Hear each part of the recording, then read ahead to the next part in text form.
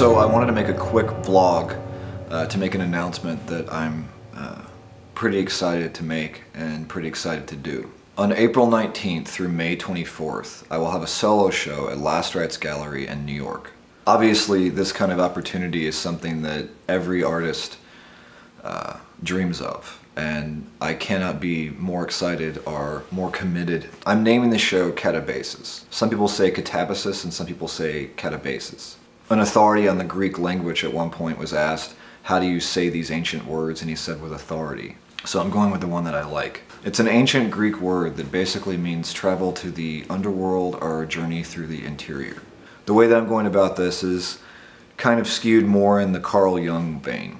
There are places in all of us, phobias, fears, anxieties, that we don't typically like, you know, especially memories that um, you think of them and your whole body will get hot, your adrenaline will get pumping, you know, the darker areas of our psyche, even the obvious ones, the, the conscious ones, um, not to say anything of the unconscious ones. My intention is to go into those areas uh, and bring back images with me and paint those. I'm not exactly sure what's going to happen with it. I know that doing that uh, will probably cause a great deal of anxiety on my part and a fair amount of change. It's fairly terrifying, but I don't want to do a solo show and have it be these are a collection of images that I think look pretty. I want the show to actually mean something to me, to there to be I, I want it to be where I don't have to question whether or not these pieces go together because they come from a, a, particular thing that I'm trying to do and that's where the pieces come from. I want the show to truly mean something to me.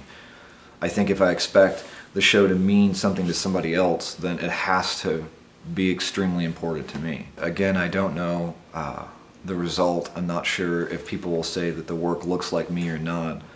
Um, maybe it'll look exactly like what I normally do. I don't I don't 100% know. And I am terrified. Uh, there are definitely places in my psyche that scare the shit out of me. Trying to go into those areas uh, vividly enough to be able to see things and then come back and paint them. Um, I won't be showing a great deal of the work until the show. I'll, I'll show details of paintings and so forth, but I want people to be able to walk into Last Rites that night and see most of the images for the first time. But what I will be doing, hopefully, is doing a vlog throughout the whole process to kind of go through and talk about uh, what's going on with me and, and how it's functioning. Um, probably more for myself than anyone else. And to maybe keep some type of sanity involved in it.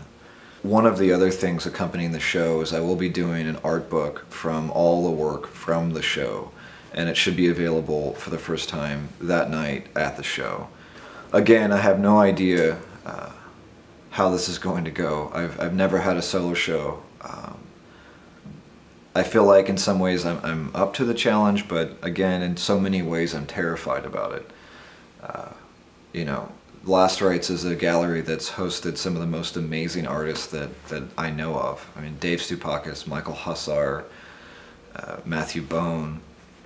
Uh, I mean, the list literally goes on and on and on. I mean, of the who's who of, of, of the art that I truly love. So getting a solo show there is, I, I don't even know how it happened. I, th I think it has something to do with how beautiful my wife is. I'm not exactly sure. Um, but I, I, will do the best I can at honoring it and trying to make a show that actually truly means something to me. And thank you everyone out there who supports this and me. Uh, it's amazing to be able to live my life with art and thank you all so much for allowing me to do that.